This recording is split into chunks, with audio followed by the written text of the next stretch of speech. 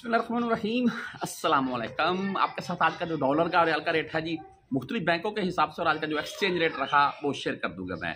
सबसे पहले हम डॉलर के मतलब ही बात कर लेते हैं। जैसा कि कल था दो सौ तिरासी रुपये चार पैसे तकरीबन। इस तरफ़ या इस तरफ़ शायद आपको मैं दिखा रहा हूँ, आज दो सौ तिरासी रुपये छत्तीस पैसे। यानी कि ये भाई स्टेट बैंक की तरफ़ से जो कन्फर्म रेट होता है, उससे दो घंटे पहले का है। यानी कि आज का रेट अगर हम बात करें दो सौ तिरासी रुपये से, दो सौ चौरासी रुपये के अराउंड में रहा और ओपन मार्केट में तो भाई थ्री हंड्रेड के करीब पहुँच चुका है। तीन सौ रुपये के करीब एक डॉलर पहुँच चुका है। मिल ही नहीं रहा है। पहली जो बात यह है, अगर हम बात करें रिया रेट के मतलब तो आपको एक्सचेंज रेट आज का बता दूँ। जी, मैं पाकिस्तान के लिए आज का पचहत्तर रुपये उनचास पैसे हो चुका है, साढ़े पचहत्तर रुपये हो चुका है आज का rate State Bank sorry open market का। अगर हम बात करें इंडियन रुपये की तो वो इक्कीस रुपये बानवे पैसे, बांग्लादेशी टका अट्ठाईस टके, नाइन्टी नाइन, यानी कि उनतीस टके। मुख्तलिफ़ बैंकों के हिसाब से आपको बताने से पहले मैं ओपन मार्केट का रेट आपको आज बता दूँ भाई।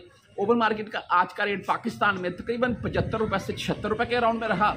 और अगर बात करें आने वाले दो चार दिन या एक हफ़्ता या दस दिन बाद की तो इसमें मज़ीद बेहतरी आएगी।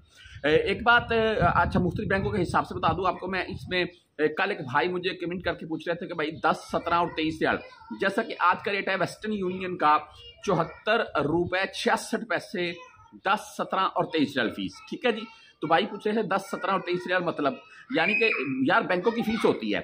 अगर आप मोबाइल ऐप से भेज रहे हैं, दस रियाल फ़ीस है, अगर आप, आपका कार्ड बना हुआ है बैंक का तो आप भेज रहे हैं भाई, सत्रह रियाल फ़ीस है। अगर आप फ़र्स्ट टाइम किसी बैंक से भेज रहे हैं तो तेईस रियाल या पच्चीस रियाल फ़ीस काटेंगे। वो फ़ीस होती है बैंकों की। अच्छा ये आगे बात करें तहवील राज़ी, यानी कि राज़ी बैंक की अगर हम बात करें तो भाई इनका आज का रेट चौहत्तर रुपये उनतीस पैसे हाई रेट है इनकी भी दस, सत्रह और तेईस रियाल फ़ीस होती है। अगर बात करें एस टी सी पे की तो एस टी सी पे का आज का रेट चौहत्तर रुपये छब्बीस पैसे, दस, सत्रह और तेईस रियाल इनकी भी फ़ीस होती है।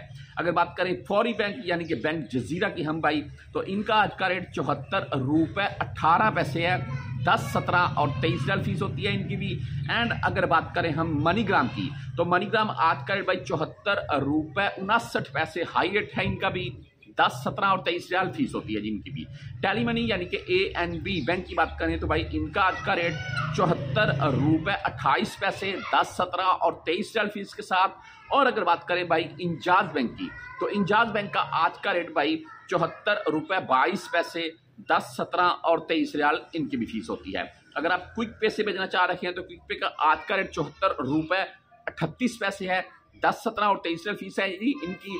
और दो दिन पहले एक भाई साहब मुझसे रबते व्हाट्सअप के ऊपर रबता किया, मुझे बोल रहे दो दिन पहले भाई मैंने एक हज़ार रियाल भेजा है, बहत्तर हज़ार छः सौ बना है दो दिन, यानी कि तीन दिन पहले। तो दो दिन पहले, यानी कि उसके एक दिन बाद मैंने भेजा एक हज़ार रियाली तो वो तिहत्तर हज़ार आठ सौ बना।